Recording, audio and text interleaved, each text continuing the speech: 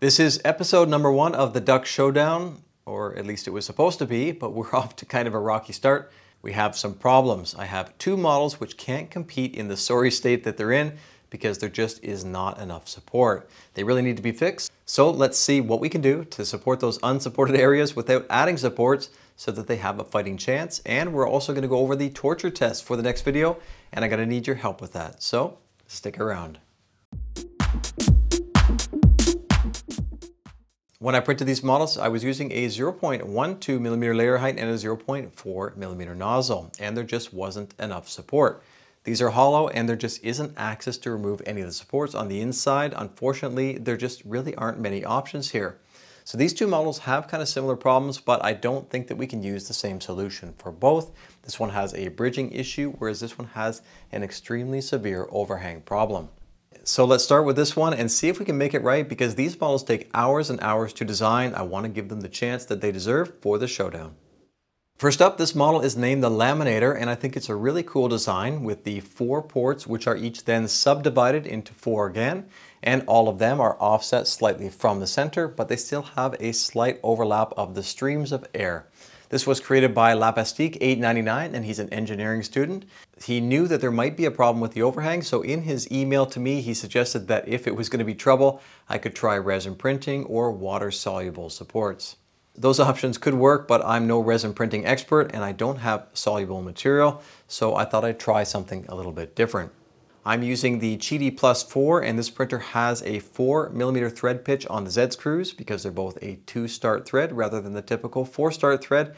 I think we're able to achieve a very accurate Z height change with this printer. So in Orca Slicer I have the model set up and we're going to select variable layer height and then I can press the adaptive button and it might be nice to also smooth the transitions for a little bit better look.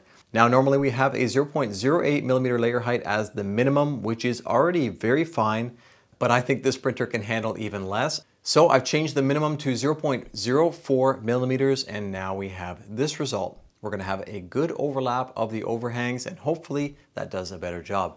Unfortunately, with the variable layer heights, we can't use tree supports anymore, so I'm gonna set the supports to normal and fine tune them a little bit. Let's give this a try and see what happens. I'm using Qidi's Purple ABS Glass Fiber 25 and this filament has the glass fiber set in the center and it's supposed to have improved layer adhesion from the standard glass fiber. It was looking really good and I don't think the Z moves are a problem, but extruding these very minute amounts of filament could be a bit of a problem. So let's try adjusting the overhang speed down and I'm also going to change the minimum layer height back to 0.08 millimeters instead of the 0.04.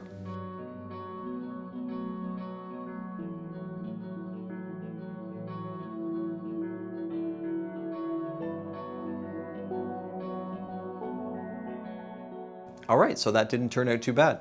Because the path is curved along with it being so little overlap, it was not able to close the top end properly. This is pretty good, but I think next time I'd leave everything as 0.12 and then adjust only the nearly horizontal sections to 0.08 and slow down the overhangs.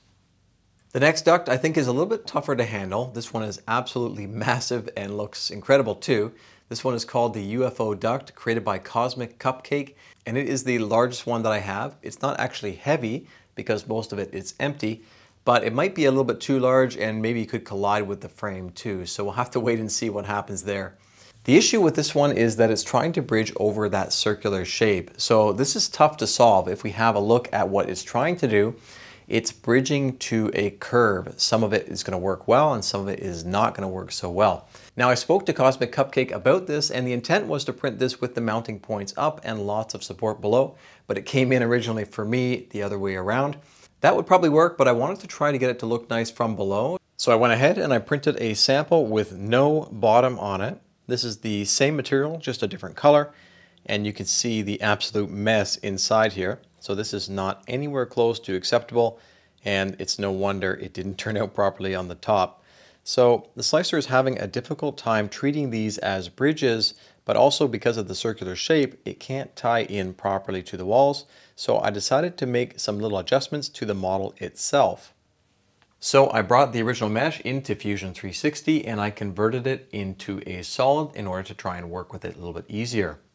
I drew a shape with parallel sides between the ports and I extruded it down slightly below the original shell thickness. That shape extended beyond the shell towards the inside. Then I added a light chamfer just to make sure that it extended into the shell completely, but not through it. I patterned that shape 16 times to go all the way around. And then because I was having a little bit of trouble combining these parts together, what I did instead is change them all to components and then put all of the components within just one of them so that I could export them all at the same time. And then what it does is it will treat those sections as a bridged area. Unfortunately, it didn't quite turn out perfectly. You can see here it's not too bad, definitely far better than the original, and I think there's still some room for improvement, but we're on the right track. I printed a few more samples with varying degrees of success and I was able to achieve this result.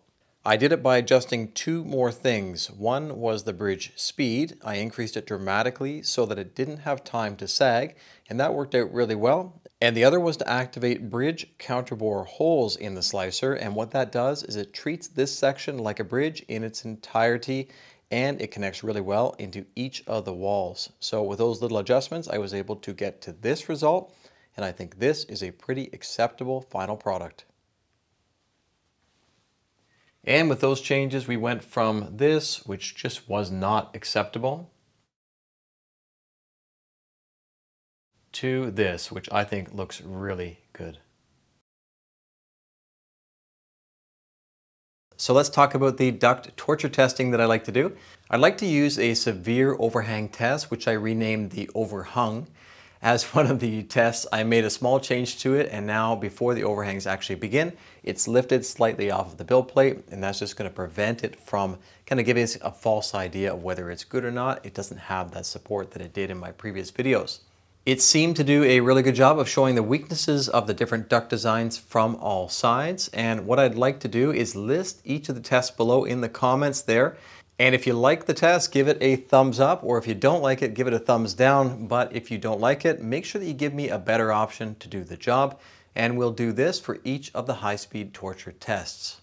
The next test I'd like to do is a hollow shuriken, a throwing star which tapers up and it also twists as well. It should do a great job of showing cooling performance between duct designs. Thanks to Rocksalt for allowing me to use his design and I'll leave a link down below if you want to try this one yourself.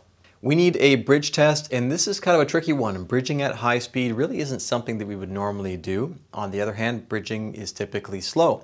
And if we can bridge faster, that is going to be a benefit to save us some print time. I see some bridge tests out there which are just one line and they're supporting something in the middle, and that's certainly an interesting test. But the bridges that I had in mind are actually layered. And I think this is important because those layers above the initial bridge extrusion affect the layers below and they're also going to reheat them and they sag slightly when that happens. So what I decided to do is come up with a bridge model which turns around a central axis with different lengths and I've also raised it up from the build plate a little bit as well. The bridge test should give us an idea of overall cooling performance, the balance, and also is the air coming out of the duct forcing the bridge down too much during the extrusion. So again, vote down below if you like this one, thumbs up, thumbs down, and there is also a link down below for all of these models. Before I reveal the final test, hit that subscribe button if you're enjoying this type of content, and don't forget to like it if you like it. The final test, I think, does need to be a benchy, but not just a benchy. Four benchies to be specific.